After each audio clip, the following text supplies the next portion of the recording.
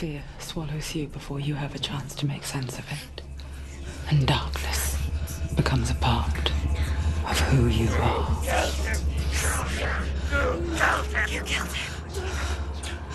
But oh, her world changed the day the Northmen took him from her. Senua knows that there's no going back to how things were. That there's nothing to go back to at all. Stay still, stay quiet, hide. Their gods can see into your mind. They will use this power to destroy you. They you. won't stop me. I can still feel it. Whatever's left of him. They will never let him go. I'm not gonna let him rot here. You're the one rotting here. Leave me alone. You will die here. No. And all your suffering will have been for nothing. I'll find you, my love. I promise.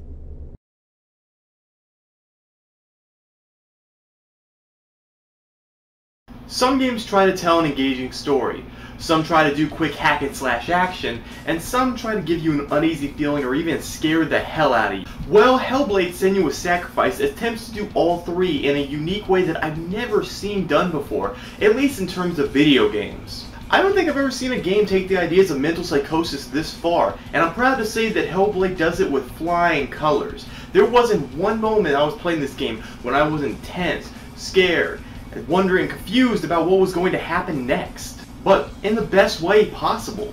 But with all that being said, Hellblade does have a few flaws that hold it back from being that near perfect game. So, come with me. Let's dive into the action-packed psychological thriller that is Hellblade: Senua's Sacrifice. The story of Hellblade is as classic as Super Mario or Castlevania. Upon the death of her love, Senua goes into the depths of hell to reclaim his soul so the two can be together once more. It's such a sweet and entry level story, am I right? Wrong. This game's story is actually quite deep and horrifying and tragically beautiful, but mostly tragic, and it all comes from the fact that our main protagonist Senua is a schizophrenic. This idea is brilliant for a video game, though few titles rarely, if ever, get this idea right, and resort to the supernatural to tell a deep psychological tale a la Silent Hill 2. She will almost always hear voices from every corner telling her to keep going or back away, or that this will kill her, that there is no going back. It's a haunting experience, even more so when you consider that the audio was recorded in binaural audio. So if you have a pair of headphones, put them on because it will feel like the voices are right in the room. Plus, this means the developers can have a hell of a good time with the level design. Another brilliant thing the game does when handling her psychosis is that it doesn't depict her as a stereotypical insane character where there is no way you can relate to her. Since the game takes place in her mind, everything makes sense to her and her alone as she pushes forward, and you learn a lot about her past, like how she was raised, where she met her, her love, why she was a warrior in the first place, and a bit about her family. It's interesting, just the idea that the game is kind of just one big mental argument she's having with herself. Senua is a very well developed character on the grounds that you're always learning about her in the world or the occasional flashback, so the game doesn't need to stop too often for her to blather on with stock moments, and the game is always heading on forward. So overall, the story is very well done, but that's just one part of the game. What about its gameplay? The first 30 minutes of the game are a great introduction to the game's story, atmosphere, combat, and Senua herself. As you can see, there are no HUD elements on the screen, so you have to go off of other things to get you through to the end.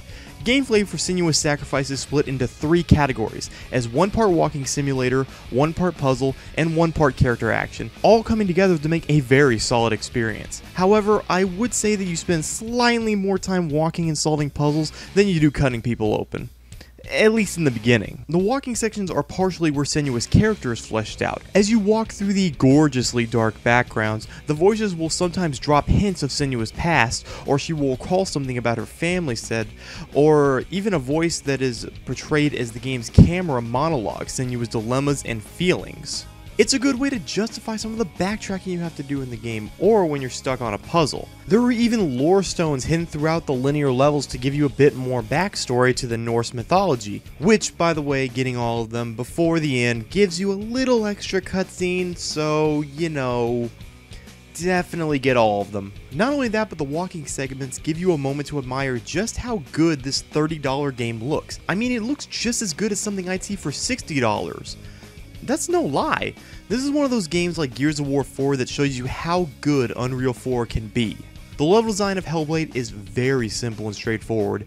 You walk, you hit a dungeon type map with a puzzle and some goons, solve the problem, and move on. But the way it's handled here is pretty cool. You start off in the game with a match the shape puzzle where you'll be given 1 to 3 shapes that you have to find somewhere in the world by connecting objects or shadows, sometimes at an angle or finding different vantage points. It's honestly really easy at first, but near the end of the game, it will make you earn these shapes by searching every corner of the map and focusing on the most unlikely things, which is equal fun and frustrating. Other puzzles for the game include objects I call illusion gates that reveal hidden passages and broken objects that again you must look for at a certain point to reconnect. It's simple, but it works surprisingly well with the game's world, and I really like how often they would combine all of these things to make somewhat complex puzzles, but it wasn't all that hard, at least until the end. And it should be mentioned that because our heroine is mentally ill, the game thinks it's a good idea to get scarier and scarier as the story progresses. Like seriously, there is some stuff in here that will make you check under your bed. And you know what, game? I'm okay with that, for a few reasons. One, the game never throws any cheap jump scares at you. It's all about building the tension and cranking the visual weirdness up to 11. While combining that with the creepy as hell voices, you will get scared, I can guarantee you that. I know it had me looking behind my shoulder at least once, and there was one specific enemy that gave me a freaking nightmare. And for those of you who beat the game, you know who I'm talking about. Hashtag tame the beast, am I right? I'll end it by saying that I think it does horror better than some recent horror games. Okay guys, now it's time to talk about the combat, which in a way can be described as baby's first character action game. You have your heavy and light attacks with a dodge button that makes you absolutely invincible. No joke. A kick attack that throws enemies off their balance, and what is probably the absolute lifesaver in the game the focus button.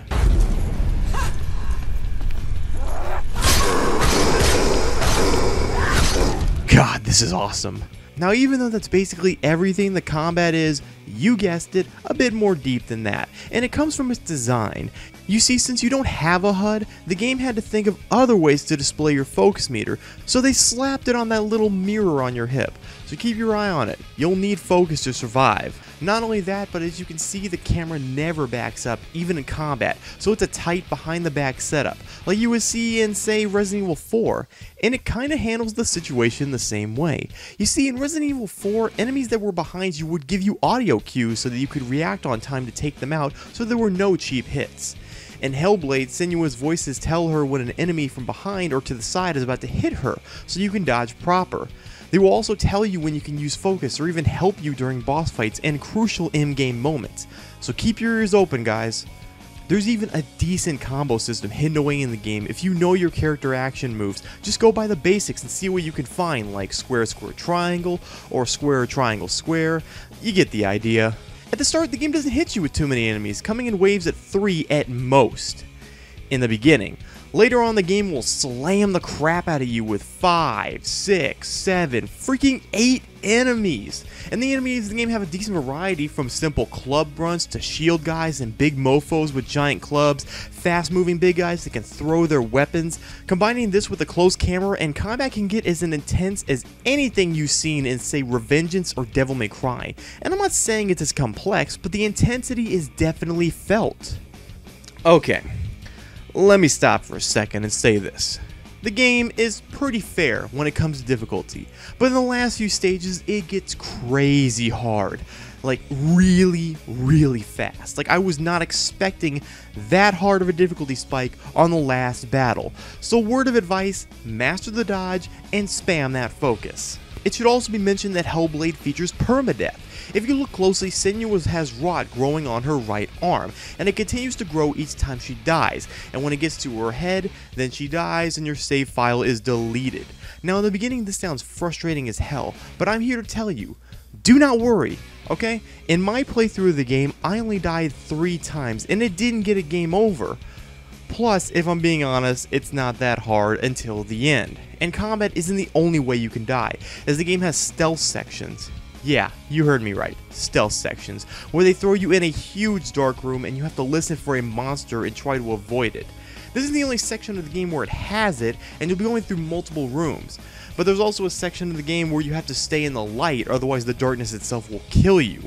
And these were without a doubt the scariest parts of the game. Bosses in the game are awesome. They're everything I want a boss to be, each having a unique design and techniques exclusive to them. Now there are only three real bosses in the game, and I won't spoil the bosses because they were all a hell of a good time, but I will say this. Take your time with them and listen to the hints. Oh, and before I forget, the game has an epic soundtrack, so yeah, check that shit out. Now, previous reviews have said the game clocks in at 7 to 10 hours, and I'm here to tell you right now, that's an outright lie. I've seen playthroughs on YouTube that have gone to 5 hours, some even 4.5. My playthrough, completely blind, was 6.5 hours. And for $30, that's pretty damn good, especially considering when you think of Call of Duty's campaigns that are only like 5 hours long, and that's $60, when this one is 30 in the end, guys, this game was excellent with its story, puzzles, combat. With the exception of a few difficulty spikes here and there, I had a wonderful time from beginning to end. And I will say the ending might confuse some people for a little bit if you didn't really follow the story all the way through or if you might have missed a few pieces of information here and there. I know it had me confused for a little bit. I had to watch the ending again. I even had to watch the uh, the feature documentary that's in it that shows you what they went through to make the game and they spoil the story really. But I love this game if you couldn't already tell. And if you were on the fence about getting this game or not, you should do it. It's absolutely worth every penny. And I hope this brings back the mid-range game. AAA looking games at a $30 price. So, in the end, I'll give Hellblade Senua's Sacrifice an 8 out of 10. I would have given it a 9 out of 10 if it wasn't for those problems I had towards the end, but I still love this game and absolutely recommend it. And uh, Ninja Theory, if you're watching, this is the best game you guys have ever made. While I enjoyed Devil May Cry, Devil May Cry Definitive Edition, and I enjoyed Enslaved, you guys really knocked it out of the park here. And I can't wait to see what you guys do next. Thank you guys for watching, and I'll see you next time.